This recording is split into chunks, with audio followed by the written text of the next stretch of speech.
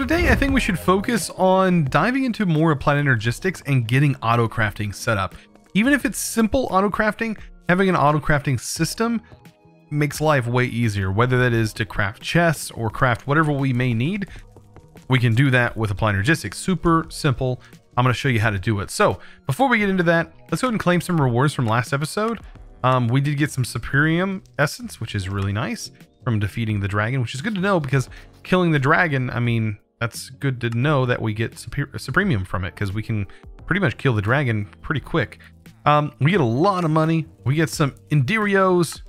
We also get some XP, a random loot reward, Storm Mage hat, and we also get a um, unclaimed black market container, which could grant us a lot of different things. So let's hope it's good. We got Dread Shard. I don't know what that is actually. From Ice and Fire? Dreadstone. Um, has a unique banner pattern. Okay, so it's a it's a banner. Okay, so we can craft a special banner um, with it, and also makes these torches, which I don't know what Dreadstone torches do. Maybe you guys can let me know. It probably tells you in the Ice and Fire book once you've unlocked it, but I don't know. Let me know down in the comments what you think that does. I it probably says it right on the wiki, but uh, I have not looked it up, so I have no idea. So I want to go ahead and get this thing set up. I have most of the items crafted and ready to go. Um, what I do need to do, though, is make this a little bit deeper, I think. I need to take that and take it down a bit further. And I'm probably gonna, I'm gonna have to rescan it, I believe. But I want to be able to hide my cables, right? All right, so let's hook that in. There we go. And then I'm gonna rerun this back through here. Just make sure it's linked to this properly. There we go. Um, and then let's go ahead and set this up. So let's get my climbing, turn those back on. Perfect. I think I want to set them in the corner. Right here, I can probably put my processing unit. So I, I have most of the items made. Um, right here, uh, I would do it above ground, but eventually we'll have a multi-block structure set up. So I'm going to just run the cables this way until they connect. Just like this. And right here, just for the sake of it, I'm going to take a single ME controller. And this is going to go right here. And when we hook that in, you're going to see some colorful lights. Um, you get 32 channels on each side of this block, and this can even be a multi-block. So you do have channels that are limited. On these normal cables, you only get eight channels per cable, which is what we're going to work with today. We're not going to go into anything fancy or advanced. We're just going to have this set up and it's going to be really simple. Now, one of these crafting units, which I'm going to use two coprocessors, um, a crafting monitor just so we can kind of see, and 164K storage. This right here is what is going to allow us, and when it is one multi-block, it will be just considered one thing on the system, uh, or at least on this, this line of channels. So I'm going to go ahead and place the crafting block here, right? I'm going to place the two, or actually I'm going to place a crafting monitor here. And then I'm going to place... Oop. What just happened? That was weird. Okay, I just got thrown underground. Weird, oddly enough. Okay, place that there. And then... Place that there. Okay, so this is actually a single processing unit. Um, and is really nice. Like, this is going to function just fine. As you can see, it is right there. Um, and then what we can do is on the sides here, I'm going to run separate channels underneath here. And we can still leave the lights. I'm going to try and put it in this corner over here. And I'm just going to put our single crafting station and get it started over here. And what, what I mean by that, I'm going to use molecular assemblers. And uh, these can be connected with ME cable. We're gonna, I'm going to show you here. And this is just for some really simple craft, right? Crafting. And I can place them just like this. If they're glowing like this, you know they are functioning and ready to go. And I can stack them, right? And I can continue to stack them up, and I can do that on the other side. This right here is going to give me a few slots for me to be able to uh, set up a few things. So, um, with these by themselves, they're not really useful. We do need, let's see, applied energistics we are going to need, let's see if I have enough for them. Where are they at? There we are. An ME interface. So we're going to need some ME interfaces. Looks like I still need some more Fluix. I'm going to go ahead and grind some more Fluix up. I, I, you use so much Fluix. You don't even realize how much Fluix you're going to use. Um, okay. And these interfaces are what's going to connect to this. And you can use regular quartz for this as well. There we go. That is plenty. Perfect. I wish I would stay. I need to set this to auto keep. There we go. There's our interface. And I'm going to grab four of these. And then what I'm going to do is I'm going to slap these just like this on these. And this is where you're going to store your patterns. We still need a pattern monitor. So I'm going to grab a pattern monitor. Don't think it's too expensive for this. It is going to require like a regular... I have a few of those. Yeah, we're gonna. I'm gonna have to make one of these. So now that I have this all made and ready to go, I'm just gonna slap it on the back here. That should work, and uh, put a blank pattern in. Now this is where we can start to craft out different things. Um, and you can see right here we have ore dictionary for substitute, and basically we can change this to processing or crafting. Um, and this is where we're going to craft our stuff. So if I want to make chests, I can say, okay, let's take wood and I want to turn this into logs. Bam. I can go ahead and set that craft. And then what I can do is I can place that in an interface here. And let's go to wood. And right now I have a little bit. If I hit control on this, I think it's control. I don't remember what the button. I thought it was control to request an item. If I take it all out, I can see though, I do have the ability to do that here. So I can say, all right, I want to craft 10. Next, start that process. Take a look, wood, it's already crafted those 10. And it would have went in here. Pretty quick. Pretty quick. Um, and you can do multiple processes because we have these different processors, but you can make these things quite large, right? This is the central processor that is going to work for our crafts. It is limited, but it is enough to get us started. So moving forward, we need to go fight some guardians and we need to take these guys out. Um, so what I want to use is a night vision upgrade and we can just apply that real quick. There we go. And put it on our helmet. Should go in the only slot. Now, I think there's an option and you look up dark and you search category and you'll find dark steel armor and we'll set this to N. Now I know N already has a, it already has something set to it. Of course, none is going to show up. Um, I think it was the bats that has it set up, but still it should work, right? Oh, maybe not. It's applied, but it's not turning on and off. So there still is a control that is blocking it. So it should be in red. There's night vision. There's Alt in. That's not it. Insert Alt minus. Ah, it's this one right here for vampirism. So yes, it was part of it. And I'll turn off that one as well. Now, there we go. Now we turn it on and off. Now I think this consumes power. Maybe while this is on. I don't remember. But we can turn it on and off pretty quickly. And uh, it's going to allow us to... Uh, go underwater a lot better. It's going to allow us to do that. So let's go fight some guardians. I do have a couple of buckets. I'm going to need to fill them up because when we go down there, we're going to have to harvest a few things. I also think I should probably have a magnet at this point. So magnet, and there's tons of different kinds of magnets, but one of my favorites and really simple to make is these, right? And we can just upgrade them. I think we have the copper and make some copper. We can make this upgraded, and we can go probably even one more. I think we have Electrum and Invar. There we go. Can I take it up to Signalium and Electrum? Oh yeah, I probably can. And I think I can take it up even further. I think I can, I think I have enough flux. Signalium. And there we go. We have a resonant. We have literally the most upgraded thing, magnet, that we can get. Hold shift for details. Okay, press none to enable attraction. So this is going to be under, I think, under the, so if you guys are looking for this in options, it's under CoFH Core. And we search category and cycle item mode. I think this is the thing. And I can set this to something. Let's, apostrophe?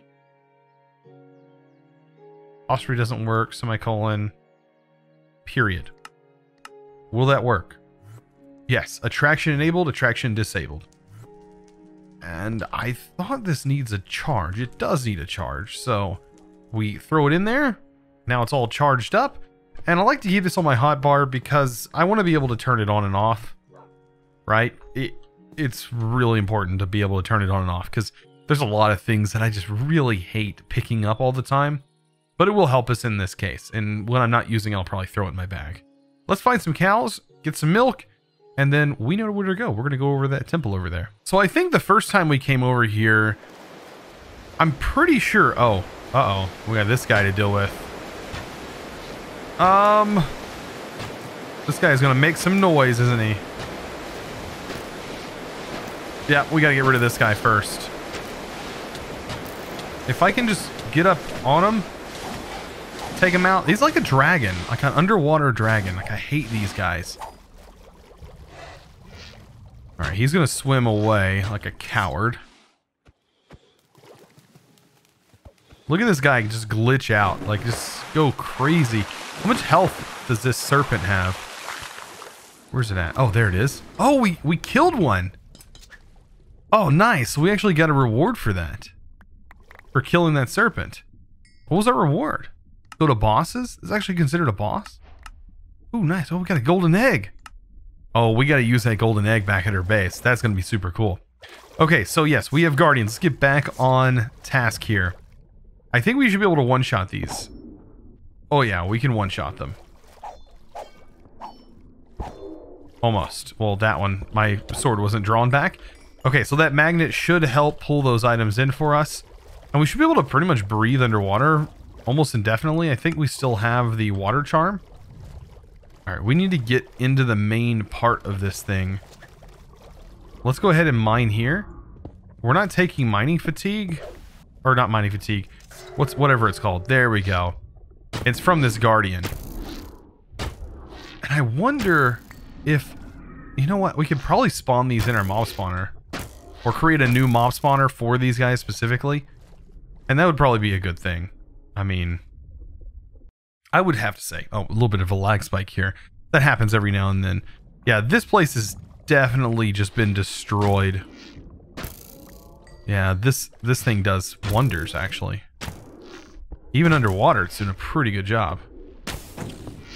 Oh, that thing's shooting at us. Whoa, whoa, whoa, whoa, whoa. Hold up a minute. Hold up a minute. We are not dying under here.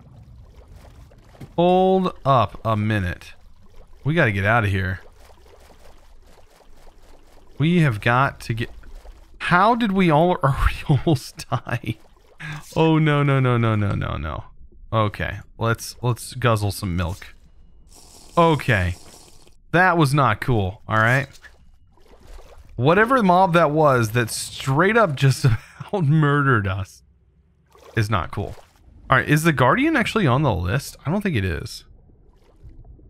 I don't think it is. Interesting. So I think that was probably the only one left, right? That would be the interest. This this place is just completely wrecked. Just completely obliterated. Oh, wow. We got lucky there, didn't we? We got really lucky.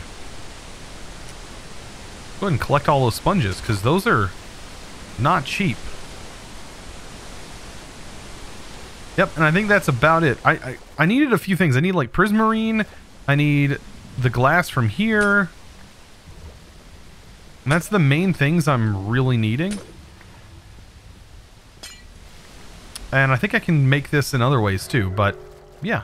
Oh, yep, there's another guardian here. Oh well, I'm good. We're getting out of here anyways. Eat my Enderios. Oh yeah.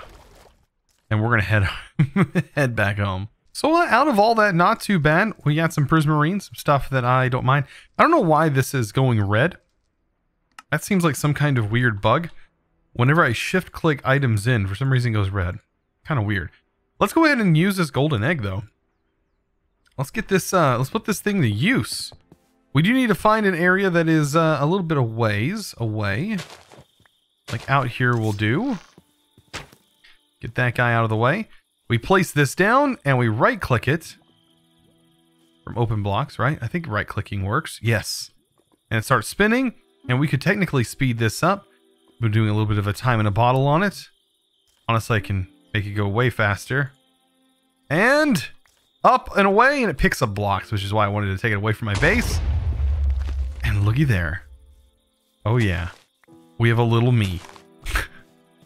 A little mini chosen architect just running around, you know, causing havoc. I think he's just going to break every single flower. And I'm just going to leave him over there to do his thing. Yeah. I don't think I... Oh, I can reach. Oh, good. Maybe we can get a bottle. Um... Ender IO. Oh yeah, I can take a soul vial. Let's just pick him up with a soul vial. Nice. So that way we can put him in a little box. I'll trap him in a box in my uh, my base over here. Let's do that. Um, so we need some glass, and we can uh, trap him in a little room. I think that would work pretty good, right? We'll be really mean to him as well. We'll make sure to, you know, it is ourself. So let's trap him in a, a box that is wood. Why not? Why not? All right, we got cobble. Let's see. Kit. There we go. Sharpening kit. Get her pick cleaned up. All right, so we can go ahead and... Where do I want to put... You know what? We should probably put him here. Like every time we teleport over here, we'll be able to see him just chilling out. This could work. I like this. I like this idea. Trap him in a, a box room. Put the glass here.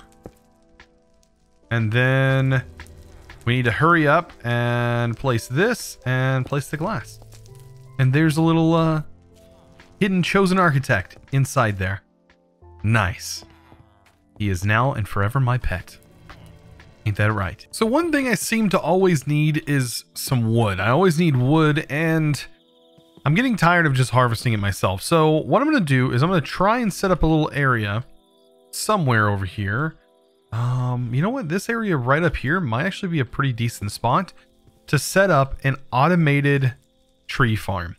So what we're going to need is a planter and a gather. These are from Industrial Foregoing. Pretty straightforward. What you do is you just place down the plant sower, and you know what? I might not do it here because this is the uh, spot where I overlaid a little bit of soil. So we might do it like right here. This is probably a good place as well. Um, so, like I said, we need a plant sower, and it needs to be in a pretty decent location. So right here is fine. Plant sower. This is going to plant the crops, and it can actually go under the ground. So right here is fine. And then I'm going to do a little area. I'm going to probably do, what, a 5 by 5 We need to make sure we get the proper upgrades for these things. But I think right here is going to be plenty. Let's go ahead and place this here. And I'm going to place this facing the other direction. Like that. And this should create a pretty decent size area, right? Two on this side, two on that side. And this also needs to match that upgrade. So let's take a look at the upgrades for industrial. I think it's the plus add-on 2, this one right here. Let's see what this size is. Yes, this is the right size. So that is definitely the add-on. Same should go for this add-on. When we show the bounding box, it fits. Of course, they're going to start conflicting. That's fine. All right, so let's go ahead and also get the GPS for power hooked up to these guys. Right now, there's no power going to them, but that's fine. We're going to get this hooked up before we get the power going. Okay, so we want to change this to uh, crop handling or crop hoeing disabled. I don't want it to hoe the ground. Always active is fine. This right here is gather anything, gathering trees. We want it set to gathering trees because that's what we're going to be having this set up to do. And this right here is fluid sludge. Whenever it starts to harvest crops, it will start to generate that. All right, so this is going to collect a couple things. So we need to make sure that one thing goes in here called saplings. So we're probably going to need a filter. And we're only going to need a filter for the saplings, so don't worry too much about this.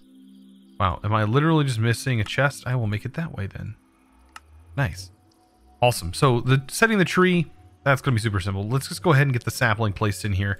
We'll set that to insert, place this, make sure it's only accepting saplings in here. And what you can do is you can also fill this whole thing with saplings and lock the inventory. So that way only saplings go in here. Now we need somewhere else for these to go. So what I'm going to do is probably just place some storage drawers out here. That will allow me to, uh, you know, get a storage drawer system set up. Um, and I might, I think just a few storage drawers will be fine. Because we'll need a storage drawer for apples, a storage drawer for... I don't think we'll need ex, extra saplings, so maybe... We'll see. We'll see what all we need. But I think for right now, not too much. And we can have all these hooked up directly. Not going to hurt anything. It'd be nice if I uh, if I used a shovel. You guys probably are screaming at me for not using a shovel. But I, I hardly ever, ever do. Okay. So we'll just set the conduits right here to do their thing. Now we do want to make sure this is priority number one. So this has a higher priority. So that way the saplings go in there. And uh, these will be all set to insert as well. Insert and once the item's in there, we don't have to worry about it anymore. Set this to extract, always active. Perfect. Okay, so now that this is done, I mean, we need to just place the dirt back. Just like this. And probably put the saplings in there. All right, once we give this some power, I mean, really, we're just waiting for the trees. We'll wait for the trees to be growing. That's the only thing that's going to take some time with this. We throw those in there. Go back up. We should see that saplings are being planted.